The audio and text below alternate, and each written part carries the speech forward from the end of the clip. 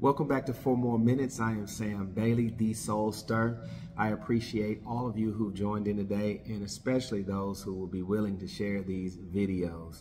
And then I got to add, please subscribe to these videos as you can be a part of putting inspiration, encouragement, and motivation out into the world. Today, I just want to tell you that it's on leadership. Everything rises and falls on leadership whether it be in a home, if there's poor leadership in a home, whether you be a single parent trying to do it by yourself, or uh, in a traditional household where there can only be one head, one leader, whether it be a school and there's weak leadership at the top, whether it be a principal or administratively in a congregation where the leadership lacks vision and direction and relevancy and, and real connection with the people no matter where you go. it's funny how I see a lot of people now praising Deion Sanders, which rightfully so. He's gone into an organization, he's changed the culture of that organization, and he's brought a different spirit. And they went from just last year winning one game to being undefeated in their first three games because he was himself and he's made people believe in him and what he can do.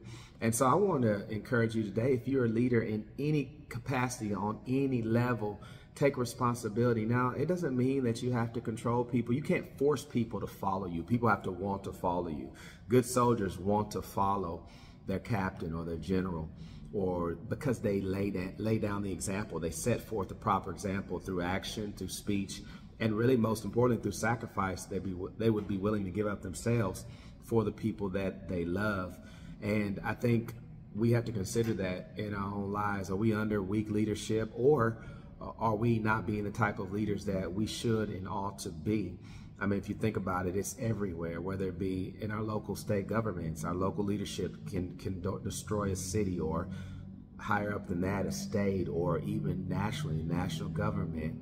And when you have leaders that are corrupt, that succumb to bribes and can be bought and can be influenced instead of listening to God or listening to their better voice that's inside of them that tells them the right versus the wrong thing to do, or to be selfish and not care about the people who you've been entrusted to lead, or not even be a true servant, because at the core of any level of leadership is servant.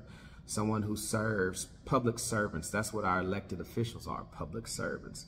Even in the church, our elders or church leaders, they're just shepherds. They're, they're they're there to to watch men's souls, and that's that's the number one job. And I think uh, when you look at you know, sports, they sports business, you know, we see, I think, good formulas a lot of times. You got to have the right leader and you got the right staff. And they create a team atmosphere where everybody's important, everybody's valued.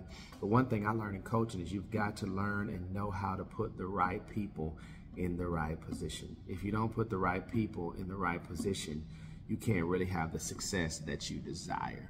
So I want you to consider that and think about that. Are, are you putting the right people in the right position in your life to be successful? And sometimes good leaders have to put other people in positions that they don't even realize they need to be in.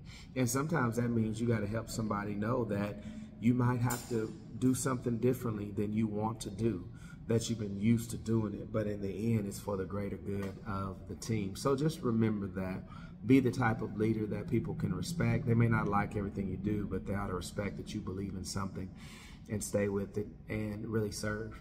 And you will truly be a blessing to those that are around you. So thank you today, and I'll see you next time. Thank you for joining right here.